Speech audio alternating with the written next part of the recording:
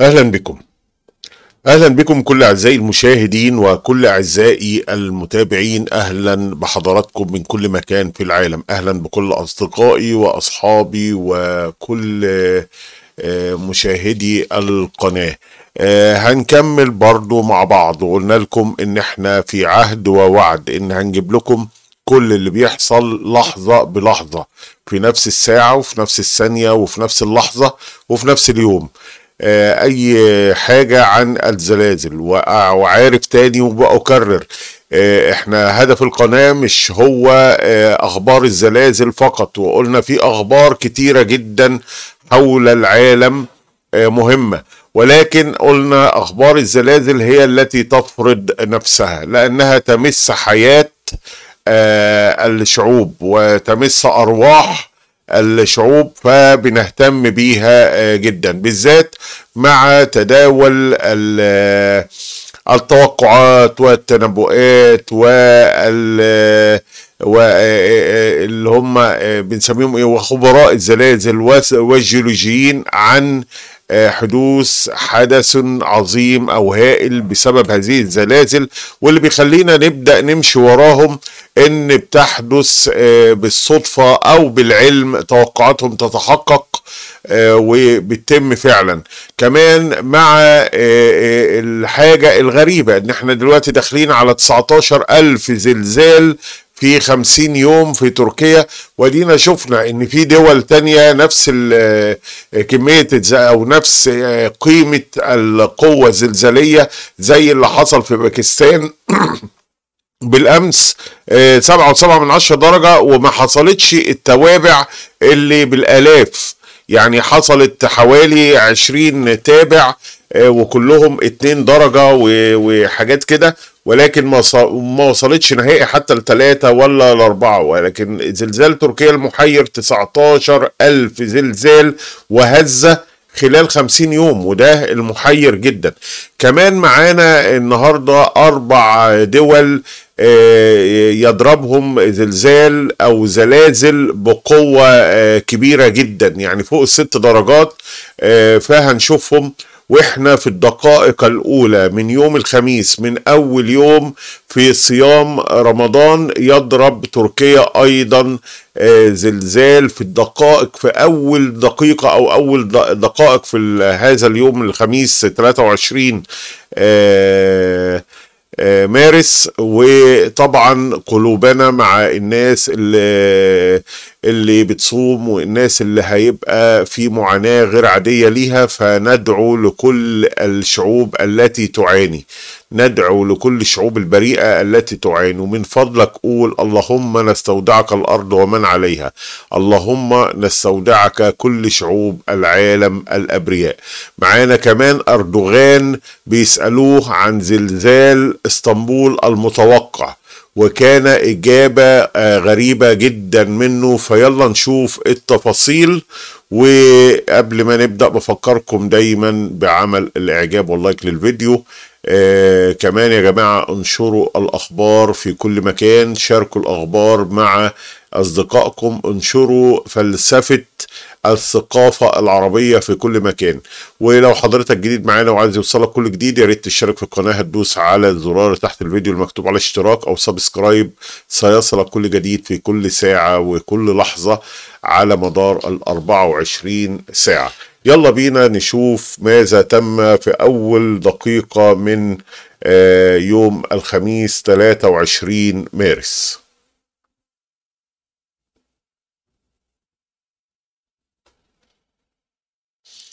عندنا الأول بس عايزين ناخد آه، تعليق أردوغان عن آه، زلزال إسطنبول المتوقع وده في جريدة كنوز التركية وآدي اسم الجريدة وهنا يوم 23 مارس آه، 2023 يوم الخميس. أردوغان يعلق على زلزال إسطنبول المتوقع وبيقول إيه؟ علق الرئيس التركي رجب طيب أردوغان على زلزال إسطنبول المتوقع. جاء ذلك في مقابلة متلفزة تمت بالأمس يوم الأربعاء تطرق خلالها إلى مواضيع داخلية وخارجية.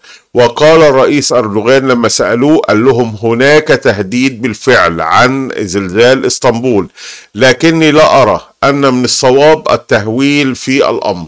لأن طبعا الناس قالت لو زلزال إسطنبول ومرمرة جه بنفس القدرة اللي بيقولوا عليها 8 ولا 9 أو 10 الكلام ده الناس قالت إن تركيا كده تنهار. هو بيقول لأ مش ما تهولوش في الأمر لكن هو في تهديد بالفعل. وهنا أقر أردوغان من العلماء إن فعلا في تهديد خطير لأن في صدع كبير جدا جدا والصدع ده لازم هيتملي أو هتقع عليه الصفائح الأخرى. وبالتالي لو حصل زلزال إسطنبول أنا بقول لكم تركيا مش هتقوم لها قومة إلا بعد عشرات السنين لأن كل الاقتصاد موجود في إسطنبول ولو حدث هذا الزلزال هيبقى مدمر أكثر بكتير من اللي حدث في 6 فبراير. فهو أردوغان من حقه إن هو ما يرعبش شعبه ولكن هنا إقراره يعني الكلام اللي بيقوله الخبراء والعلماء فهذا التهديد إن هناك تهديد بالفعل فده معناه إن في بيانات بتقول إن في زلزال قريب هيحدث في مرمرة أو في إسطنبول وبيسموه الزلزال العظيم. معانا بقى كمان دلوقتي لو بصينا على خريطة الزلازل هنلاقي زلازل هامة جدا يا جماعة. منها زلزال حدث من لحظات في طاجكستان في طاجكستان خمسة وتسعة من عشرة درجة وده يعني ست درجات فده يعتبر من الزلازل الخطيرة جدا. وأنا بكلمكم أهو يعني جه زلزال حالا دلوقتي ونشوف جه فين.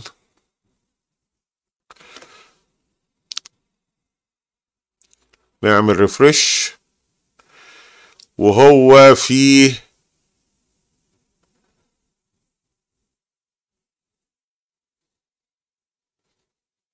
في نيوزيلاند خمسة وواحد من عشرة في نيوزيلاند وغير الزلزال اللي في إيران برضو الآن آه وقوته خمسة وواحد من عشرة.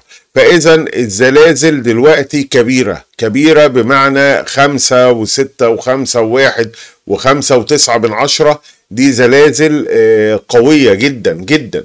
مع الزلزال اللي جه ستة ونص في الأرجنتين النهارده آه اللي هو آه آسف بالأمس يوم الأربع مساء آه ستة ونص في الأرجنتين فده برضو يعتبر خطر جدا. نروح بقى لتركيا. الأرض تواصل انتفاضاتها في تركيا وزلزال وزلزال يضرب. نكبر الخط علشان حضراتكم. آدي. قدامكم الخبر من جريدة البيان. وهو هيبقى تاريخها 1 رمضان 1444 هجريا 23 مارس 2023 ميلاديا يوم الخميس في أول دقيقة من الخميس. الأرض تواصل انتفاضاتها في تركيا وزلزال يضرب ولاية ملاطيا وهنا التاريخ 23 مارس التاريخ أهو آه الخميس 2023 ضرب زلزال بقوة 4 و4 درجات على مقياس ريختر. مساء الأربعاء. هو مش مساء هو الساعة 12 ودقيقتين ثلاثة من يوم الخميس. آه منطقة يشل يورت بولاية ملاطيا وسط تركيا. وذكر بيان صادر عن رئاسة إدارة الكوارث أفاد أن هزة أرضية بقوة 4.4 من 10 درجات وقع في ملاطيا عند الساعة 22 43 بالتوقيت المحلي اللي هي لو زودنا عليها ساعتين هتبقى الساعة آه تقريبا آه 12 و 43 آه صباحا بقى اللي هو بداية أو فجر يوم الخميس. وأشار البيان إلى أن مركز الزلزال كان بمنطقة ياشل يورت على عمق 7 كيلو متر تحت سطح الأرض وكان زلزالان مدمران بقوة كذا وكذا هيجيب اللي حصل في القديم وإن عدد الوفيات أكثر من خمسين ألف. وليه تاني بنجيب زلزال أو هزة بقوة أربعة وأربعة من عشرة في تركيا؟ علشان إن أربعة وأربعة من عشرة مع عمق سبعة كيلو يعني قريب جدا من الأرض الشعور بيه بيصبح تقريبا خمسة ونص أو ست درجات. كمان إن الأتراك نفسهم قالوا وده هتلاقوه في كومنتات كتير إن الزلزال اللي بيبقى قوته فوق التلاتة درجة ممكن يهد مباني لأن قلنا المباني في آه تركيا مصدعة مع الأمطار مع السيول اللي موجودة فأربعة وأربعة من عشرة يعتبر من الزلازل الخطرة جدا في منطقة ضربت بتسعتاشر ألف زلزال. طيب الخبر موجود تاني؟ آه موجود في آه أهل مصر وزلزال بقوة آه زلزال جديد يضرب وسط تركيا بقوة أربعة وأربعة من عشرة وهنا جايبينه إن الساعة 11 ونص ل 5 يوم الأربع 11 ونص ل 5 بالليل يوم الأربع 22 مارس اللي هو عندنا في مصر بقى يوم الخميس أو بتوقيت مصر يوم الخميس 23 مارس. وضرب الزلزال بقوة 4 من 10 على مقياس ريختر مساء الأربعاء أو بداية الدقائق الأولى من الخميس. منطقة ياشي اليورت نفس الكلام. إحنا بس بنبين ليكم إن الخبر صحيح وجاي في كل وكالات الأنباء. عندنا بقى مهم جدا إن زلزال بقوة ستة ونص ريختر يضرب أربع دول في أمريكا الجنوبية. وستة ونص ده يعني مدمر. يسمى كده زلزال مدمر. وده كان يوم الأربعاء 22 مارس الساعة 10 و17 دقيقة مساء. بتوقيت مصر هيبقى دخل 12 و17 دقيقة يعني أول 17 دقيقة من صباح الخميس. فعلشان هنا بيجيبوا جي إم تي أو التوقيت العالمي.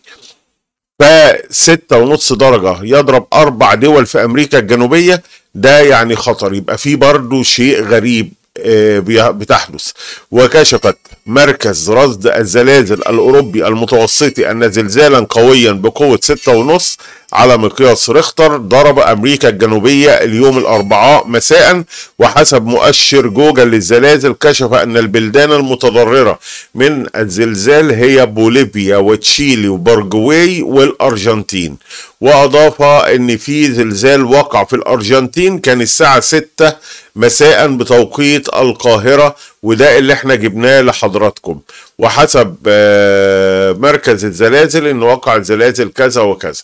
فكده في حاجة برضو تحدث في العالم. واذا الكلام اللي بيقولوه علماء الزلازل الجدد اللي عندهم نظرية جديدة ده معناه إن كلامهم بيتحقق يا جماعة بالظبط يبقى في نظرية جديدة ونطالب العلم إن هو يكشف لنا هل النظرية دي سليمة ولا لأ. لأن ما قالوا إن في العالم هيبدأ نشهد زلازل من 6 ل 7 درجات بكثافة في دول كتير. ومنها قلنا امبارح كان في زلزال في مصر. برضو ما كانش متوقع نهائي إنه يحصل في مصر. وهو قال هيحدث. فإذا في يعني شبه حقيقة لهذه النظرية لحين إثباتها علميا والعلماء يعترفوا بها ولكن لازم نشوفها. فربنا يسترها علينا وعلى حضراتكم إن شاء الله وبإذن الله لكل اللي هيصوموا صياما مقبولا إن شاء الله. ودايما نقول اللهم نستودعك الأرض ومن عليها. واللهم نستودعك كل شعوب العالم الأبرياء اوعى ما ترددش هذا الدعاء دايما واستنوني فيديوهات مهمة جدا. ما تنسوش اللايك والإعجاب للفيديو. ما تنسوش مشاركة الفيديو ونشره وعمل شير ليه. ولا تنسوا الاشتراك في القناة ليصلك كل جديد. أترككم في رعاية الله وأمنه. والسلام ختام على الجميع.